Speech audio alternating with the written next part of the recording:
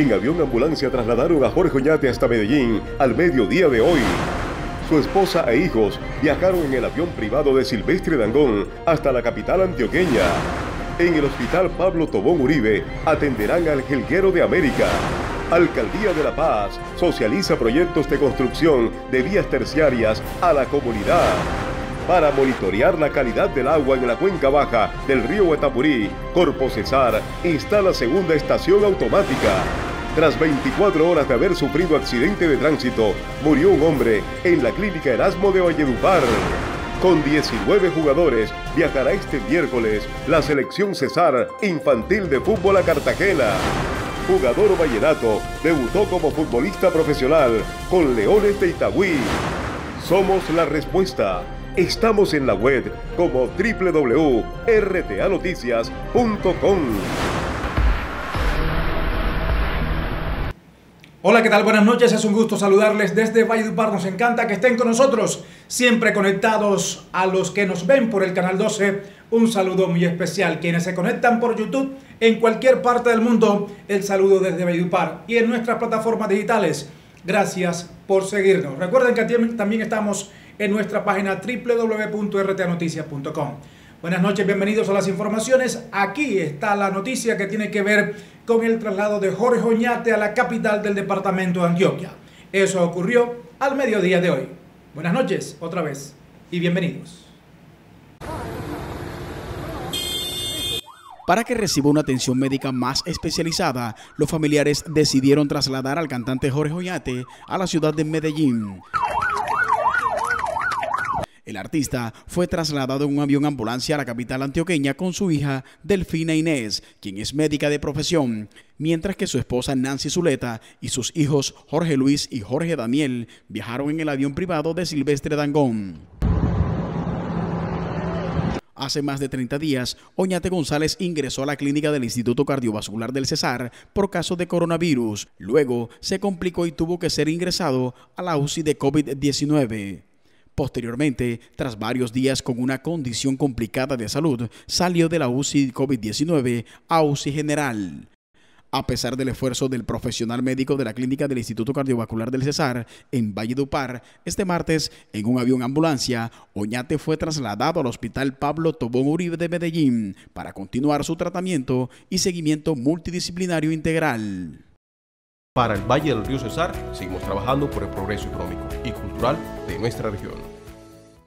El saludo de buenas noches ahora para Eduardo Retamoso Polo, que ya está con nosotros aquí en nuestros estudios. Eduardo, buenas noches y bienvenido.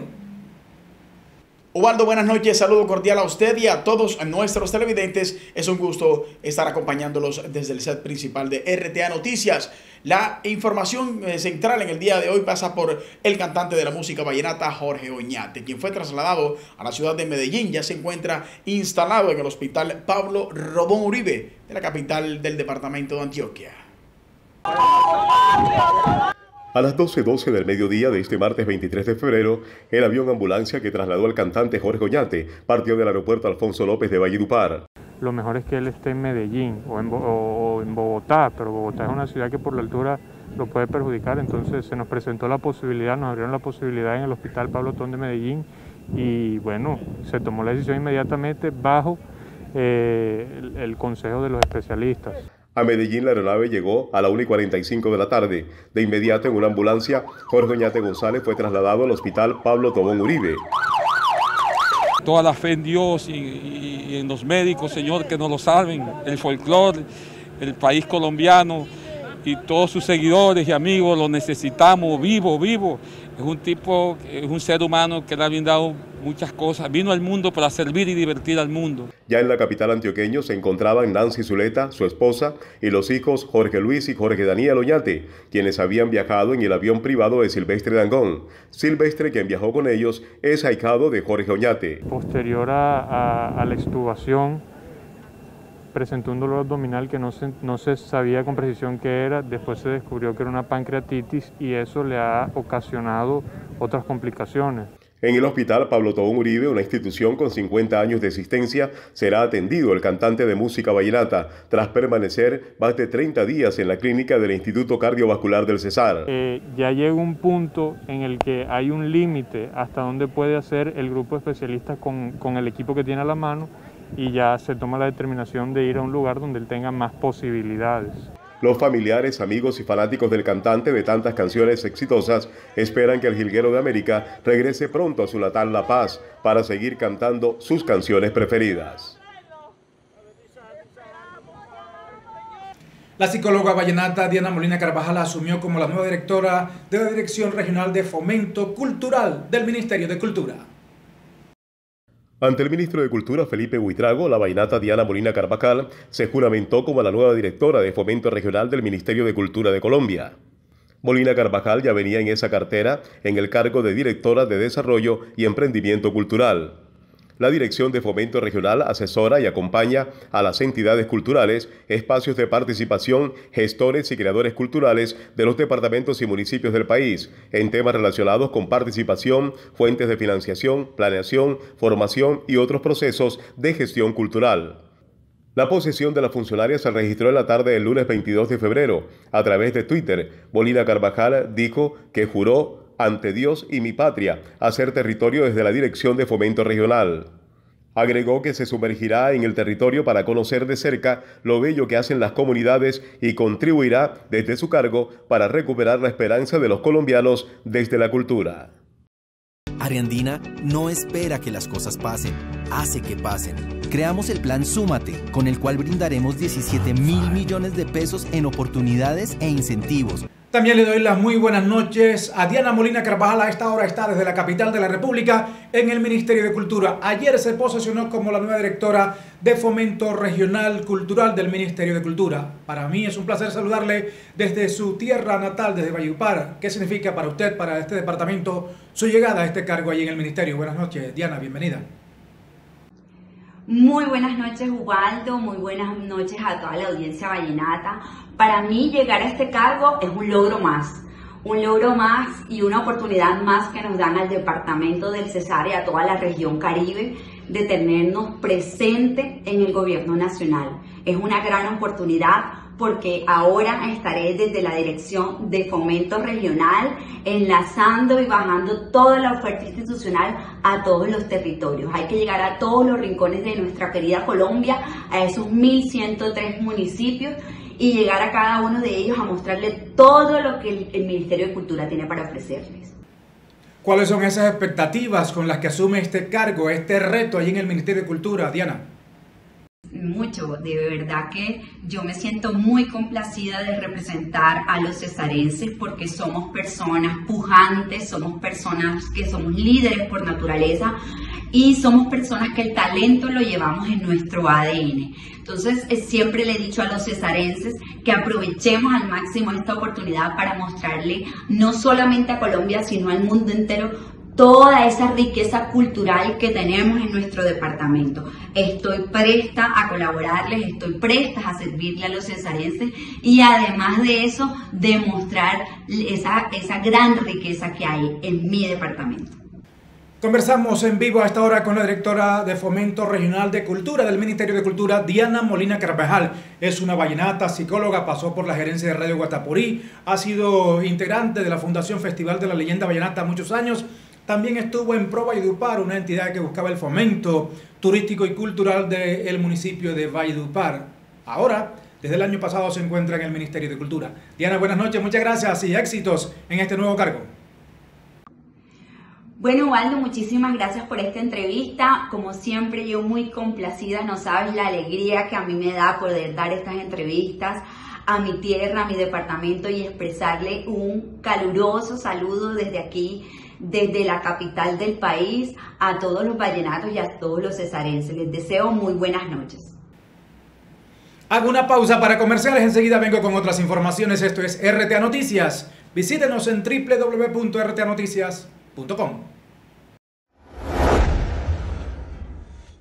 tiempo de esperanza, tiempo para salir adelante, tiempo para apoyarnos entre todos. RTA Noticias le apuesta a la reactivación económica del Cesar y brinda total respaldo a los empresarios, comerciantes y emprendedores, ofreciendo un descuento del 30% en todas sus tarifas publicitarias. Pregunte por el plan que se ajusta a su presupuesto. Contrate, anuncia y venda. RTA Noticias, sistema informativo de televisión y plataformas digitales.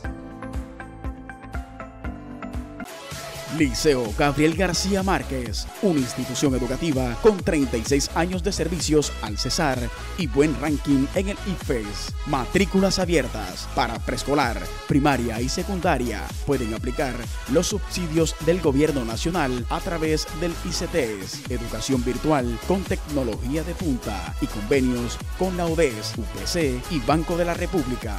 Liceo Gabriel García Márquez en el Centro Histórico de Valledupar, especialista Oscar Espejo Lázaro, rector. Llegó la Corraleja Millonaria Super Giro Cesar. Depositen los buzones autorizados las colillas de tu chance, mayor o igual a 2.500 pesos y participa en los sorteos de televisor de 65 pulgadas, bicicletas, barras de sonido y el gran premio mayor 10 novillas. Aplica condiciones y restricciones. Una institución que no se detiene, que evoluciona, que ha enfocado todos sus esfuerzos pensando en tu futuro quiere hoy más que nunca estar ahí, brindándote todas las opciones que requieras para que accedas a la educación superior. Ariandina no espera que las cosas pasen, hace que pasen creamos el plan Súmate, con el cual brindaremos 17 mil millones de pesos en oportunidades e incentivos para que inicies tus estudios en el 2021. Hemos desarrollado diferentes planes de financiación. Estamos construyendo la sede más grande del Cesar en Valledupar. Estamos en constante desarrollo de nuevas tecnologías e infraestructura. Por eso y muchas cosas más, podemos afirmar que nada nos detiene.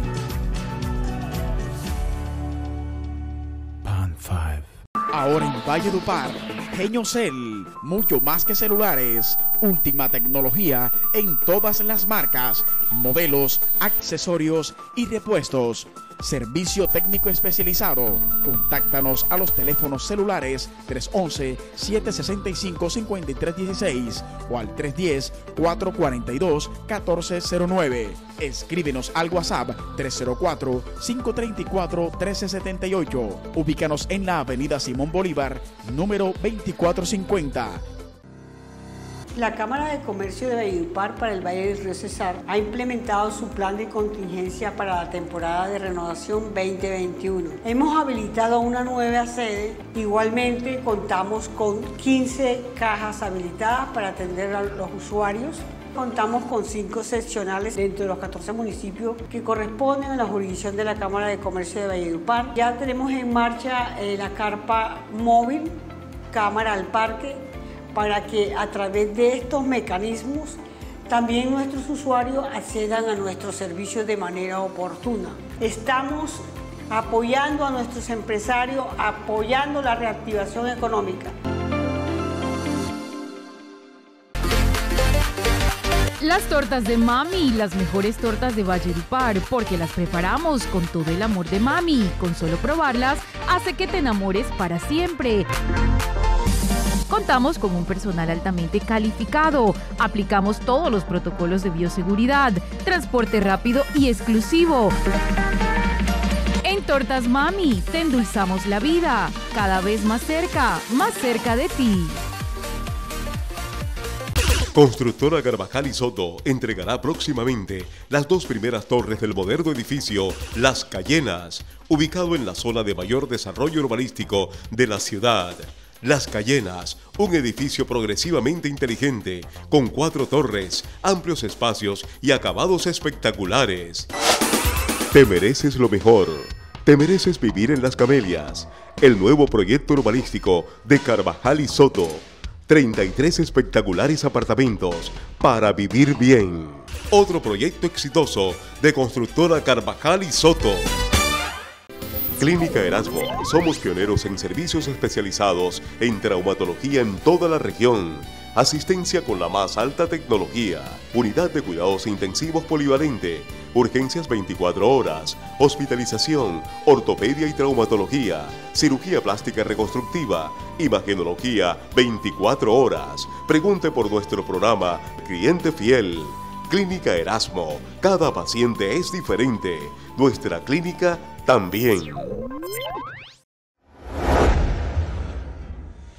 Después de estar sufriendo por más de 24 horas por su vida en una clínica de esta ciudad, falleció un hombre que sufrió un accidente grave en las calles de la ciudad de Valledupar. En la clínica Erasmo de Valledupar falleció Carlos David García Rieta, de 29 años de edad, luego de un accidente de tránsito que sufrió en la carrera 19D con calle 14 en inmediaciones a la sede del SENA. El deceso ocurrió la noche del lunes 22 de febrero, luego de 24 horas de lucha. RTA Noticias conoció que el joven se desplazaba en una motocicleta cuando fue embestido por un vehículo que luego escapó del lugar. García Rieta fue auxiliado por una ambulancia y remitido de urgencias al centro asistencial donde intentaron mantenerlo con vida. El joven vivía en el barrio Eneal de Valledupar. Su cadáver fue remitido al Instituto de Medicina Legal y Ciencias Forenses para la respectiva necropsia. Una rejilla en mal estado en la avenida Simón Bolívar pone en peligro la transitabilidad de vehículos en esa parte de la ciudad. Esta es una historia urbana de RTA Noticias. Vial que le hace falta un segmento, lo cual dificulta el paso vehicular habitual y ha ocasionado varios accidentes en la última semana. RTA Noticias visitó el lugar este lunes 22 de febrero para atender el llamado de la comunidad que está inconforme. Sí, no había simulación ahí, no había nada de eso ahí. Había una basura que habían colocado, pero que eso, no, eso no, protegió nada. Un taxi llegó, se metió en el vehículo, se despegó la llanta y casi colisiona con otro vehículo. Eso fue lo que pasó. Y a colocar una valla ahí, cuídate. Gracias a Dios no hubo más accidentes. Un empresario ratificó que en las noches es más peligroso porque la señalización que está sobre la rejilla no se ve. Bueno, ese problema se viene presentando que nos pudimos percatar eh, desde el día martes y ha sido pues bastante renuente que unos señores se han accidentado ahí, eh, colocaron un tronco y también los demás carros en menos de dos horas se chocaron ahí. Bueno, en la noche también, eh, ayer inclusive un muchacho también, gracias a Dios no pasó a mayores, pero también chocó, colisionó con la parte lateral, en la parte de su rodilla y pues gracias a Dios no pasó más nada. Ocurrieron varios accidentes, estaba en mi presencia, estaba aquí, pasó un taxi y pasó y cayó y se pichó la llanta de uno que casi el taxi choca. más que el mal conductor tuvo la estabilidad y logró estabilizar el carro. Y hay otra moto que se cayó, no había, hubieron un accidente, bueno, pues. Los habitantes del sector piden a los conductores por favor tener cuidado mientras se soluciona el problema y a las autoridades competentes que le solucionen pronto.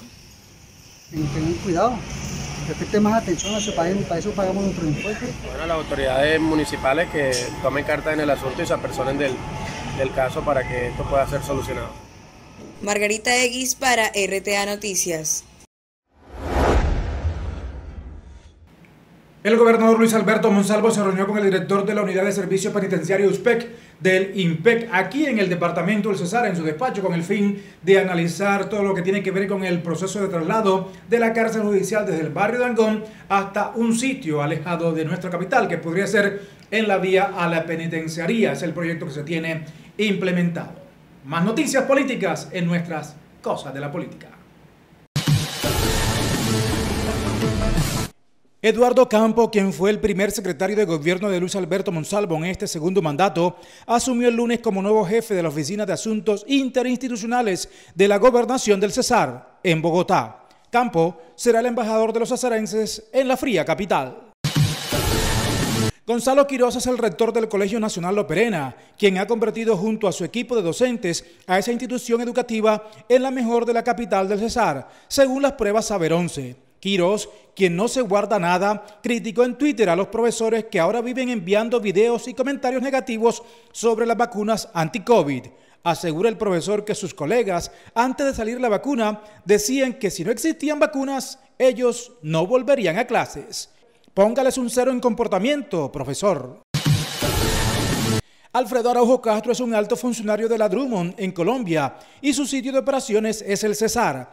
A raíz de su febril actividad en Twitter, le pregunté si tenía alguna aspiración política al Congreso, por ejemplo, a lo que me contestó tajantemente, eso jamás, no creo que a mi edad eso sea una buena opción. Ese tren pasó hace más de 30 años y no me embarqué, fue lo que me dijo Fello Araujo. Hay que recordar que la política, su familia la lleva en la sangre. Cosas de la política. Corpo Cesar instaló la segunda estación automática con el fin de evaluar la calidad del agua en la cuenca baja del río Guatapurí. Donde finaliza el río Guatapurí y entrega sus aguas al río Cesar, fue instalada una nueva estación automática de monitoreo de la calidad del agua por parte de la Corporación Autónoma Regional del Cesar, Corpo Cesar, con el objetivo de verificar las condiciones con que se recibe y entrega el agua a la comunidad. Álvaro Zuleta Costa, director técnico del Sistema de Vigilancia de la Calidad del Aire de Corpo Cesar, informó que cada 10 minutos el equipo instalado envía información en tiempo real de la calidad del agua del río Guatapurí, con la cual es posible emitir pronósticos y avisos tempranos al acueducto de la ciudad de Valledupar sobre el comportamiento del río y eventos que puedan afectar su calidad. Estos equipos están ubicados en sectores estratégicos para medir las variaciones en tiempo real del recurso hídrico.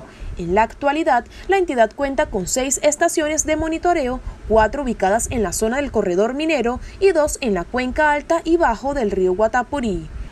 La estación de calidad de agua instalada cuenta con sensores para medir conductividad eléctrica, pH, turbidez, oxígeno disuelto y temperatura. Asimismo, con dos sensores que permiten determinar la velocidad y el nivel del cuerpo hídrico. En la actualidad, según las mediciones que se han realizado al río Guatapurí, el pH del agua está oscilando entre 6 y 9, lo cual indica, según los ingenieros, que es apta para darle varios usos. Una pausa de comerciales en RTA Noticias, ya regresamos con más información. Señal para todos. 2000 en Bosconia a través del canal 9. La Cámara de Comercio de Valledupar para el Valle del Río Cesar ha implementado su plan de contingencia para la temporada de renovación 2021. Hemos habilitado una nueva sede. Igualmente contamos con 15 cajas habilitadas para atender a los usuarios Contamos con cinco seccionales dentro de los 14 municipios que corresponden a la jurisdicción de la Cámara de Comercio de Valledupar. Ya tenemos en marcha eh, la carpa móvil, Cámara al Parque, para que a través de estos mecanismos también nuestros usuarios accedan a nuestros servicios de manera oportuna. Estamos apoyando a nuestros empresarios, apoyando la reactivación económica. Ricardo Rojas Osorio, elegancia y exclusividad. Eso nos hace diferentes. Moda masculina y femenina, confeccionada de forma exclusiva. Ricardo Rojas Osorio, confección y elegancia. Oftalmo Piñeres es una clínica especializada en oftalmología. Que en la clínica Oftalmo Piñeres estamos ofreciendo el servicio de subespecialidad en retina y vitrio, su especialidad en glaucoma, su especialidad en segmento anterior y córnea, su especialidad en oculoplastia. Doctor Flavio Piñeres Andino, Oftalmo Piñeres, Clínica Oftalmológica, Retina y Vitrio. Albert, Landy, María Ángel, Eduardo, Jaime, Madi, Adriana, Freddy, Lorena, Iván, Dayanis. Todos ellos y muchos más hacen parte del equipo de héroes de Supermercados Mi Futuro. Con su valentía y esfuerzo, abastecen a cientos de personas diariamente a pesar de las adversidades. Ellos son el motor que lleva la esperanza de un mejor mañana. Hoy, Valle Dupar y Supermercados Mi Futuro les decimos gracias. Muchas gracias. Una institución que no se detiene, que evoluciona, que ha enfocado todos sus esfuerzos pensando en tu futuro. Quiere hoy más que nunca estar ahí, brindándote todas las opciones que requieras para que accedas a la educación superior. Ariandina no espera que las cosas pasen, hace que pasen. Creamos el plan Súmate, con el cual brindaremos 17 mil millones de pesos en oportunidades e incentivos para que inicies tus estudios en el 2021. Hemos desarrollado diferentes planes de financiación. Estamos construyendo la sede más grande del Cesar en Valledupar. Estamos en constante desarrollo de nuevas tecnologías e infraestructura. Por eso y muchas cosas más, podemos afirmar que nada nos detiene.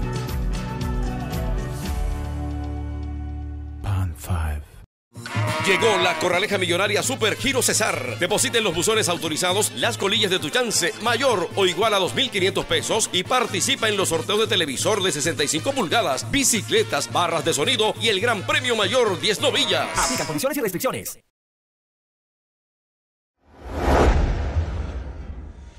El alcalde de La Paz, Martín Zuleta, inició el proceso de socialización de los proyectos de vías terciarias en su municipio. La Administración Municipal de La Paz, liderada por el alcalde Martín Zuleta Mieles, visitó la comunidad de la vereda Espíritu Santo en el corregimiento La Laguna de los Indios con el fin de socializar a la comunidad los proyectos de construcción de vías terciarias, en concreto rígido, proyectos productivos para impulsar el campo. Durante la jornada y con ayuda de funcionarios de la Oficina de Humata y Control Ambiental, la Alcaldía de La Paz actualizó el registro de usuarios de extensión agropecuaria, que es la identificación de los productores ante el Ministerio de Agricultura y Desarrollo Rural. Esta iniciativa implementada por el mandatario de los Pacíficos facilita el diagnóstico de las problemáticas y la gestión de soluciones para garantizar vida digna a los habitantes del municipio. Un joven de tan solo 17 años, vallenato futbolista, debutó en el fútbol profesional jugando para Leones de Itagüí, en el departamento de Antioquia. La tarde del lunes 22 de febrero quedará marcada en la mente de Roiner Andrés Fruto Pertus y de sus familiares. El joven de 17 años, nacido en Valledupar el 29 de septiembre del año 2003, jugó sus primeros minutos en el torneo de ascenso del fútbol profesional colombiano. Corrían 75 minutos del partido entre Leones de Itagüí y Barranquilla Fútbol Club, cuando el estratega Álvaro Hernández decidió enviar a la cancha al futbolista Vallenato. Debut y triunfo para su equipo dos goles por uno en calidad de local.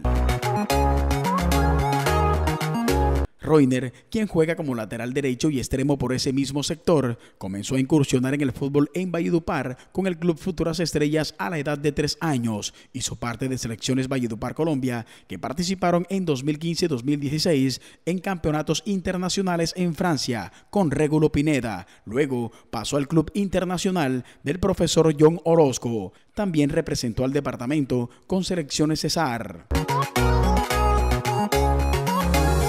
Desde hace cuatro años viajó a Medellín para formar parte de Leones, en donde ha hecho procesos en categorías sub-15, sub-17 y sub-20. La tarde del lunes 22 de febrero, por la séptima fecha del campeonato, tuvo sus primeros minutos como jugador profesional en el equipo antioqueño. La selección César Infantil de Fútbol viajará este miércoles con destino a la capital del departamento de Bolívar, Cartagena, esto para enfrentar un torneo de carácter nacional donde se medirá a los seleccionados de Bolívar, eh, también al Magdalena y Córdoba. Lista definitiva. 19 jugadores fueron seleccionados finalmente por el cuerpo técnico de la selección Cesar de fútbol infantil que representará al departamento del Cesar en el Zonal Nacional, que se jugará en Cartagena del 25 al 28 de febrero. La lista definitiva de los talentosos que representarán los colores verde y blancos en la ciudad amurallada se dio a conocer luego de tres meses de trabajos. ¿cómo va? ¿Dónde vas a? En las veedurías se presentaron más de 200 futbolistas de Valledupar y de los diferentes municipios del Cesar. Los escogidos, más el cuerpo técnico y el delegado que viajarán a la capital de Bolívar, fueron sometidos a pruebas de COVID-19 la mañana de este lunes en las instalaciones del Instituto Municipal de Deporte y Recreación, Indupal. Dentro de los seleccionados se destacan jugadores como Jesús David Chinchilla Reales, Jesús Rojas, Edwin Bello, José Vega, Danger Lemus, entre otros. El viaje a Cartagena será el miércoles 24 de febrero. La selección Cesar, que es dirigida por el entrenador Jolfrin Hernández, debutará ante Bolívar el jueves a las 3 de la tarde.